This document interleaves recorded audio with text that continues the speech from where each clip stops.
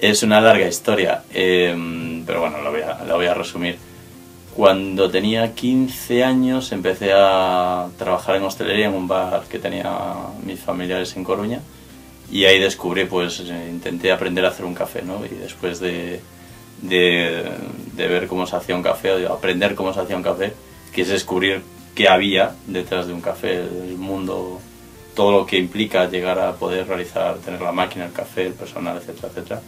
Y todavía estoy descubriendo qué es lo que hay detrás. bueno. Recuerdo todo con mucho cariño, tengo muchísimos recuerdos, muchas anécdotas, esas horas largas preparando el proyecto y una vez que lo presentas, que la felicidad que te, que te produce eso que es tuyo y que lo has creado. Y la verdad es que, bueno, todo en general tengo 50.000 anécdotas, pues como tenemos todos. Todo con mucho cariño, no, no, quiero tampoco ser muy concreto con una cuestión o con otra, porque la verdad es que todo en general fue una experiencia de las más agradables de mi vida. Y también, por otro lado, cuando era pequeño, no, a mí me gustaba también mucho el contacto con el cliente. Reconozco que me gusta conocer personas, me gusta, soy de las personas que creo que cuanto más uno, cuanto más conoce, más se enriquece ¿no? y más criterio tiene de, a la hora de opinar o de pensar.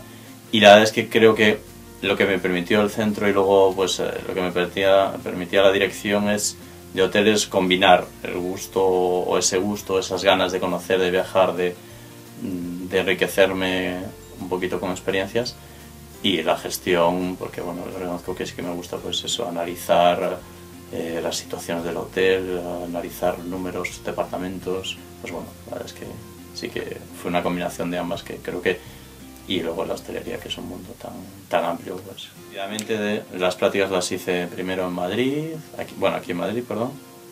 En segundo estuve en Tenerife en tercero estuve en Inglaterra en cuarto estuve en Menorca en quinto estuve en Coruña. Luego profesionalmente empecé a trabajar con Sol Meliá en la época estamos hablando del 2002 tras, tras un muy breve paso por Palma de Mallorca de un par de meses trabajé en París allí realmente es donde se afianzó un poco mi, mi, experiencia profesional después de la experiencia formativa. Estuve cuatro años en París, siempre con, con la misma compañía, pero en cuatro diferentes puestos. Eh, hubo una, una, evolución en esos cuatro años allí. Y luego, después de esos cuatro años, una cuestión por la cual yo elegí Son Melia y que estaba en pie es que tenía una formación de desarrollo de subdirectores, plan de formación directivo, lo llamamos, PDI, eh, de directivo interno. Y, uh, y ese plan, pues bueno, después de pasar unas, una, un periodo de selección de unas dos semanas en Palma de Mallorca, pues bueno, tuve la suerte de, de, poder, de que me aceptaran esa formación y me vine a hacer esa formación a Málaga. Estuve en Málaga un año, año y poco más o menos, y luego ya empecé como subdirector, eh, digamos, eh, asentado, un subdirector en Solmería, en Menorca, luego Sierra Nevada, luego volví a Menorca, que era un hotel de temporada, Luego eh, en Baqueira, en el Mega Real Tanao, es un hotel boutique allí en la nieve. Y luego después de Baqueira, pues bueno, tuve la suerte de poder volver a, a Madrid. Perdón. Pues en principio iba a hacer administración de empresas, pero bueno, el mundo del turismo, los hoteles siempre me había llamado la atención y fue un poco centrar eh, pues, eh, lo que es la administración de empresas, la dirección de empresas en, en esta rama, en, turismo.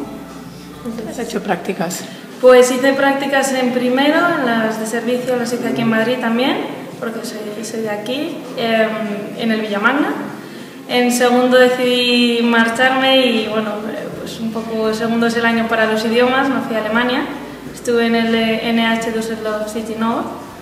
En tercero fui, bueno, llevaba dos hoteles de, de ciudad, me decanté un poco por el vacacional para ver cómo funcionaba y me fui a Islantilla, a Iberostar.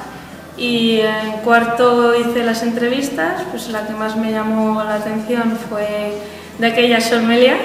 Me fui a Menorca, al Sol Falcó, y luego pues eh, volví a hacer las entrevistas, me gustó mucho Solmelia y me quedé, me quedé con la cadena. Me ofrecieron el Gran Meliá Fénix y por supuesto es uno de los mejores hoteles de Madrid, así que decidimos de, pues porque, bueno, tenía un amigo de mi hermana, estaba estudiando en esta escuela, entonces me habló muy bien de ella y, bueno, era un poco la idea que tenía.